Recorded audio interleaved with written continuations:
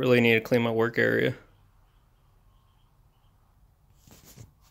Oh, mom's brakes, uh, her e-brake she wants me to work on, and she wants me to install some spark plugs. And I don't know what else, but see what happens. But today's topic is is about. I've been getting a lot of requests about um, how do you install a brake light switch uh, bushing. I call it a bushing. It's like a stopper. Uh, it goes on the brake pedal. If you drive a manual, the manual uh, clutch pedal will have it, and the brake pedal will have it.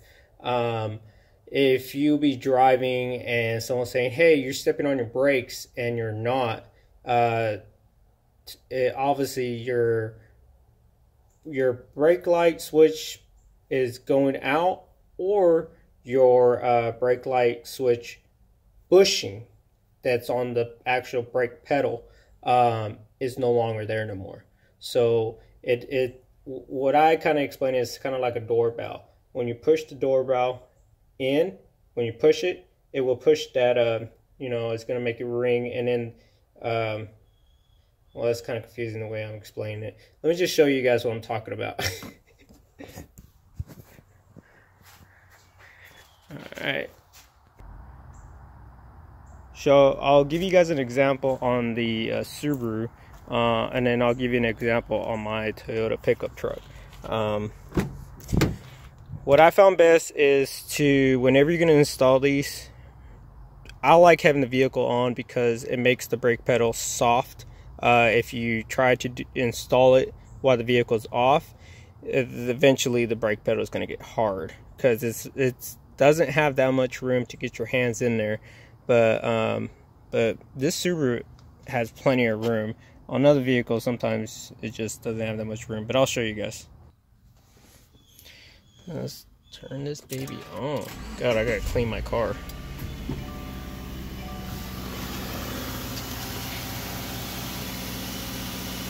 Oh, and uh, I mean, you can see your back. You don't have to, but it helps.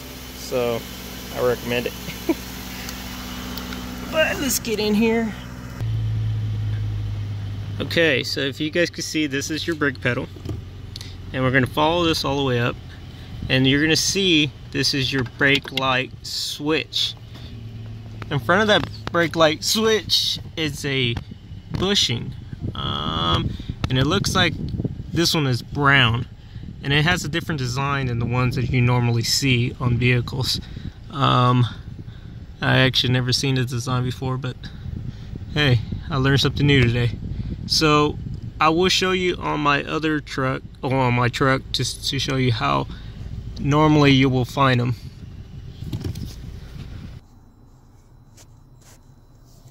Okay, so this one right here is makes it much easier to explain it. So it's the same design for the um, brake pedal and the clutch. Um, do you see? Uh, let's see here if I get the good lighting. There we go. All right, that bushing right there, that black one. Okay. If you go, if you go over there and look at your brake pedal and you see there's just a hole, and you're like, "Hey, Alex, I do not see a black bushing there." It's because your black bushing is gone. It's no longer there.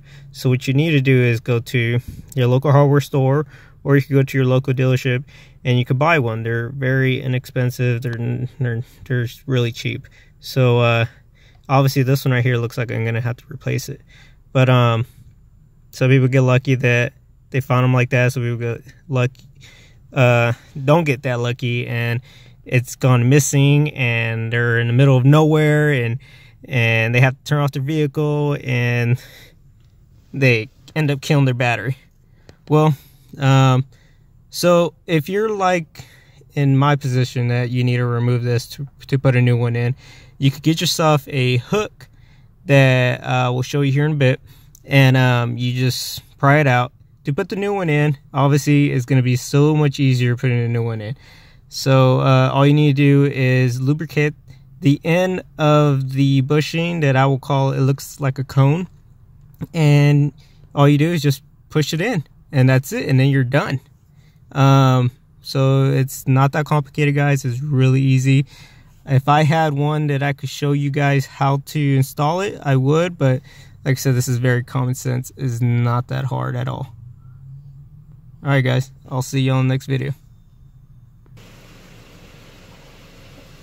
Oh, and I forgot to show you guys. This is what I'm talking about. If you if you got yourself one of these, obviously there's ones that are way smaller, and you got the end is more uh, pointy. Um, it'll help much more. But this is the only one that I got at the moment. So, but um, you can buy these. You can find these at the hardware store, Harbor Freight, um, the tool trucks like Snap-on, uh, Matco. Uh, this variety of different kinds of trucks.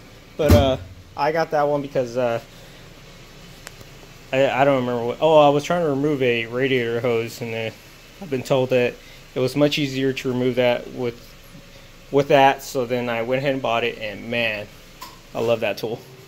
Okay, guys, I'll see you guys on the next video, and I uh, hope I help you guys with your questions, and I'll see you guys. Peace.